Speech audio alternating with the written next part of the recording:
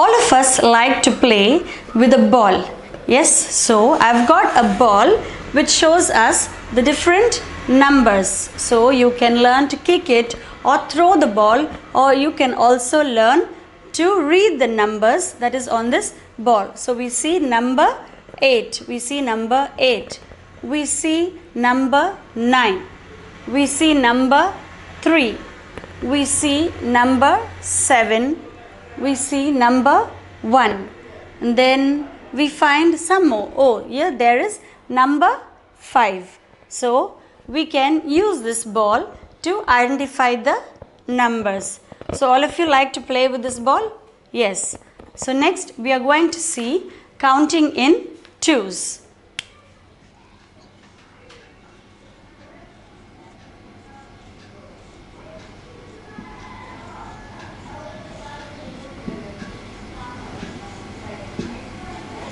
So counting in twos, we are going to see from 0 to 20.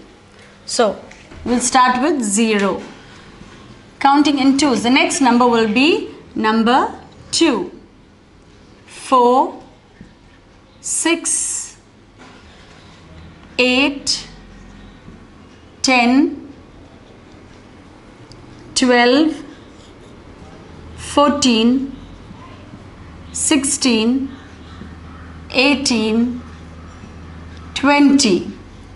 Now, if I give you some beads to count, and if I'm going to take one at a time and count, it is going to take a lot of time. Whereas, if I tell you, okay, count in twos, you will count two beads at a time and it will move faster. So, we will take 2, 4, 6, 8, 10. So counting in twos is faster, isn't it children? Yes. So we have already seen the numbers from 2 to 50.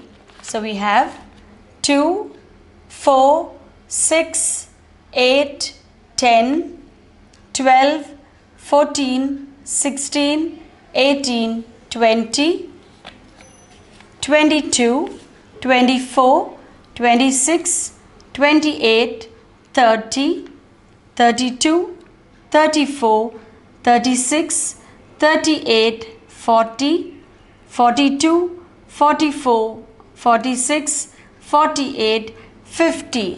So you can move on to numbers till 100 that is 52, 54 and so on. So next we are going to see the clock. We all have a clock at home, don't we children? So why do we use the clock? Yes, we use a clock to see the time. It tells us what is the time. So, what time do we go to school? It is 8 o'clock. So, when we see the time and it shows 8 o'clock, we come out of our house to go to school. And when it is 10 o'clock in the night, mummy tells us it is time to go to bed. So, how does she knows it is 10 o'clock? Yes, it is by looking at the clock. So we have different shapes of clocks in a house. So I'm going to show you one different clock. Yeah. Can someone tell me what shape is this clock?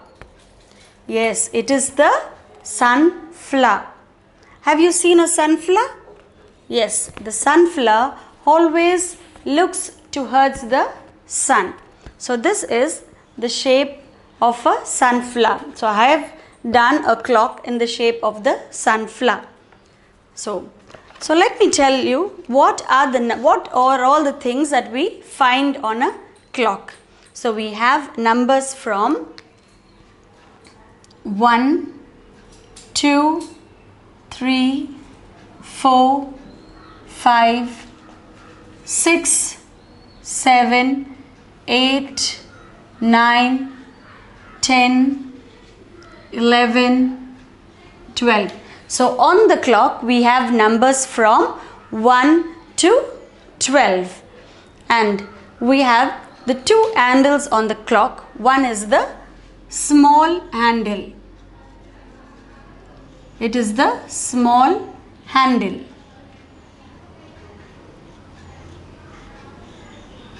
and the other is the big handle.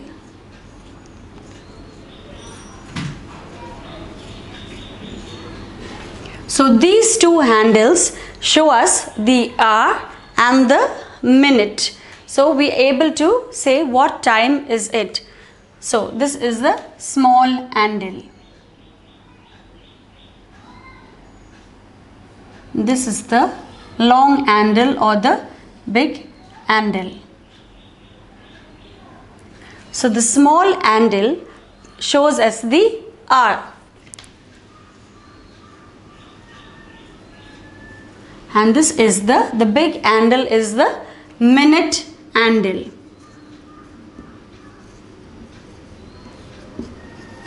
So the, the small handle is the R handle. So if you see this clock, you will be able to understand. So these are the two handles, the small handle and the big handle or the long handle. So the small handle shows us the hours and the big handle shows us the minute. So when you see, it is pointing to number 3. So the small handle points to number 3 and the big handle points to number 12. So we will draw the clock on the board and I will tell you how to see the time. Are you ready to do this activity with me? So I am going to draw a square clock, a clock in the shape of a square.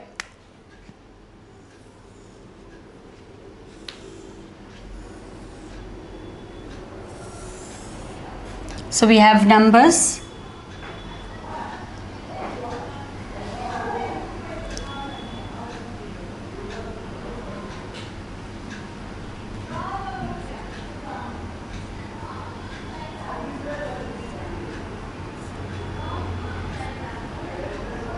So we start with 1, 2, 3, 4, 5, 6, 7, 8, 9, 10, 11 and 12. So we have all the numbers mar marked on a clock. So it is 1, 2, 3, 4, 5, 6, 7, 8, 9, 10, 11, 12. So these are the 12 numbers that are found on a clock and we have the two handles that is the small handle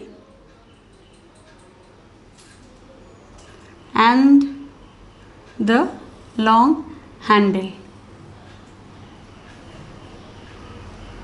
So the small handle points to number 12 and the long handle points to 1.